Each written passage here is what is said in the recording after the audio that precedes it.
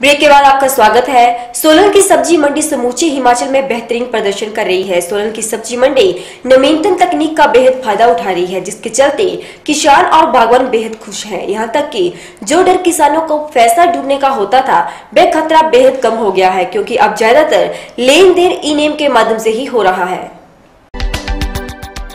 सोलन की सब्ज़ी मंडी समूचे हिमाचल में बेहतरीन प्रदर्शन कर रही है। सोलन की सब्ज़ी मंडी नवीनतम तकनीक का बेहद फ़ायदा उठा रही है, जिसके चलते किसान और बागवान बेहद खुश हैं। यहाँ तक कि जो डर किसानों को पैसा डूबने का होता था वह खतरा बेहद कम हो गया है, क्योंकि अब ज़्यादातर लेन देन ई नेम के माध्यम से हो रहा है, जिसके चलते किसानों का भुगतान कुछ ही घंटों में कर दिया जाता है। यही वजह है कि किसानों का विश्वास सोलन की सब्ज़ी मंडी में लगातार बढ़ता जा रहा है। परिणाम स्वरूप एपीएमसी का कारोबार भी पिछले वर्षों की तुलना में ज़्यादा है। अधिक जानकारी एपीएमसी सोलन के सचिव डॉक्टर आर के शर्मा ने बताया कि सोलन सब्ज़ी मंडी का जो लक्ष्य केंद्र के सरकार ने ई नेम में दिया था, वह अक्टूबर माह में ही पूरा कर चुके हैं। उन्होंने बताया कि उन्हें ई नेम के माध्यम से 20 करोड़ रुपए का किसानों को भुगतान करने के लिए प्रधानमंत्री नरेंद्र मोदी की फ्लैगशिप योजना के तहत लक्ष्य मिला था। लेकिन वे इस लक्ष्य को अक्टूबर माह में ही पूरा करते हुए किसानों के खाते में 22 करोड़ इकतालीस लाख तक भुगतान कर चुके हैं। उन्होंने कहा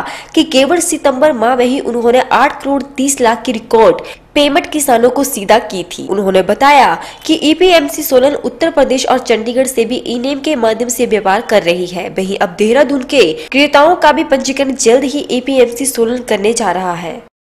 राष्ट्रीय कृषि बाज़ार इनैम माननीय प्रधानमंत्री श्री नरेंद्र मोदी जी की फ्लैगशिप योजना के तहत हमने, सरकार ने इस वर्ष हमें 20 करोड़ ई पेमेंट का टारगेट दिया था, जो कि हमने अक्टूबर माह तक ही 20 करोड़ से ऊपर जा चुके हैं, हम और कंप्लीट कर लिया है। इस वक्त तक हमने कुल 22 करोड़ 41 लाख का ई पेमेंट किसानों के खाते में एनईएफटी और आरटीजीएस के थ्रू कर दी है। और सितंबर माह की अगर बात करें तो लगभग 8 करोड़ 30 लाख रुपए का डायरेक्ट भुगतान किसानों को हुआ है, जिससे किसानों को जो दिक्कत आ रही है कि पैसे नहीं मिलते हैं, वो तुरंत उनके खाते में प्राप्त हो रहे हैं 24 घंटे के अंदर। अगर कभी छुट्टी होती है, वर्किंग डे नहीं है बैंक का तो 48 घंटे के अंदर धन उनके खाते में सीधा जाता है। और लगभग इंटर स्टेट हमने 2019-20 में छह लॉट्स किए हैं, जो कि उत्तर प्रदेश के साथ और चंडीगढ़ के साथ हमने किया। और देहरादून के भी दो वायर्स को हमने हिमाचल प्रदेश की सब्ज़ी मंडी सोलन में रजिस्टर्ड किया है और आने वाले समय में अतिशीघ्र ही उनके साथ भी हम इंटर स्टेट व्यापार इनैम के थ्रू करेंगे।